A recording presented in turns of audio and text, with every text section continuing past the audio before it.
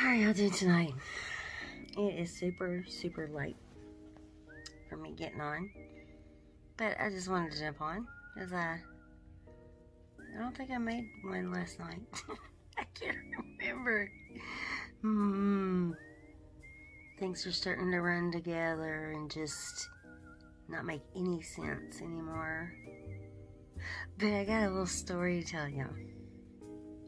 Because I noticed tonight my dryer was making a noise and I was like, uh oh, it better not be tearing up. But it was just something in it. But when my daughter and son in law, they had a little apartment here in town. And they come here on, you know, every so often do laundry. Well, one night, or one day, not night, but day, they came to do laundry. And they had a whole bunch. And so they were like, well, we're going to do one last load and we're going to go. We'll come back tomorrow and get it if that's okay. And we're like, well, yeah, it's okay. And they put their last load in the dryer. They leave. Um, me and my husband were here. At that point, it was just me and my husband living here. And, um, and we go to bed. And know what time it was. My husband wakes me up and goes, Honey, honey, do you smell something? I'm like, Yeah, it smells like smoke or something electrical.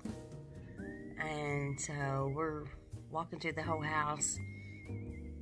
Our wash machine dryer is down in the basement, right beneath us. And I happen to go to the kitchen. As soon as I hit the kitchen, I can smell it. And I was like, it's down in the basement. I grab the extinguisher. I go down there, and their clothes in the dryer were on fire. Of course, the dryer was on fire, and there was smoke, and I was on the ground. Hollered for my husband. He he was opening up every window in the in the whole house, and um, he come down there, started opening up the windows in the basement because we have windows down there too. And he was like, "Go call the fire department," because we couldn't put it out.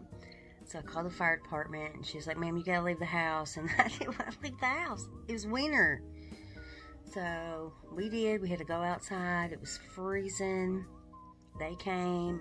They put it out. They got it out of the house, and then they were like, "You're good to go. You can go back in your house." And me and my husband, we came back in, left the windows up, and most of the rooms. I tell everybody, do not go in your home and stay in your home after electrical fire. Do not. It was the worst night of our life.